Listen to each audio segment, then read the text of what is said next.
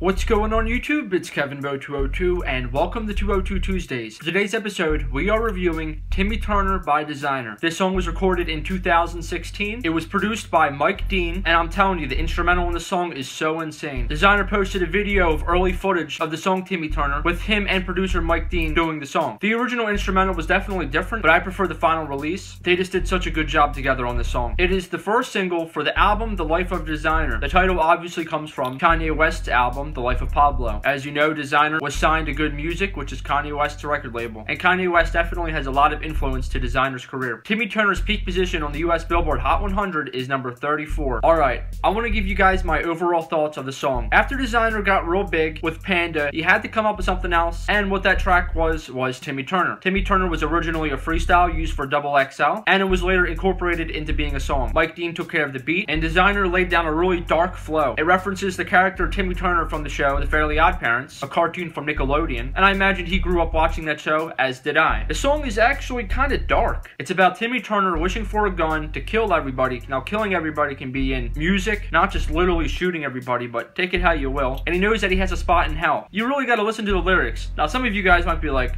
listen to the lyrics. How the hell do you understand them? I kind of understand them. It's a little tough. I actually had to pull up the lyrics from Genius and read it along with the song, and then I was like, oh, okay, so now I kind of get the point and what he's trying to say. So, I mean, if you can understand the lyrics, I recommend doing that. But the song itself is really nice. This song wasn't as big as Panda, and I honestly don't think Desiigner will ever have a song bigger than Panda. Now, I could be wrong, but that song was just so huge. But Timmy Turner was definitely an awesome follow-up. Then later, Kanye West remixed the song, and he dropped a pretty awesome verse on it. On the remix, the instrumental was switched up a little bit, and Desiigner only does the chorus on the remix. He does not have any verses on it. But with the original song, I really like how it transitioned at the end. It went from being this super dark song about a guy that's wishing to kill everybody in the game, and then it kind of ends with the inspirational note when the beat switches up. So me, I really did enjoy the song, and for that reason, I will buy Desiigner's album, The Life of Desiigner, when it drops. And I don't know, I kind of hope he stays around because this guy could be on so many different songs with so many different artists just to give it a whole new feel. Because Desiigner is definitely kind of unique. Yes, he does resemble Future,